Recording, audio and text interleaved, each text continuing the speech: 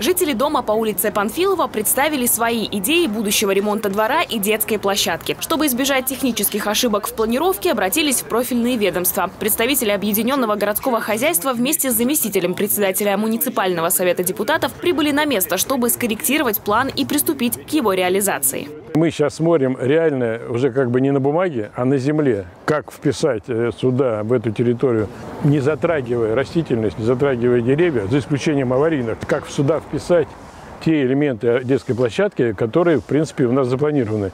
То есть это качели, это зона отдыха. Помимо детской площадки, жители дома по улице Панфилова хотят, чтобы на месте так называемой народной тропы в их дворе появилась вымощенная дорожка. Она ведет к мусорным контейнерам, а их, в свою очередь, люди просят отгородить специальным забором. Комплексное благоустройство начнут в ближайшее время. По словам специалистов ОГХ, рабочие управятся до конца октября. Ремонт во дворе проведут в рамках программы «Городская среда» партии «Единая Россия».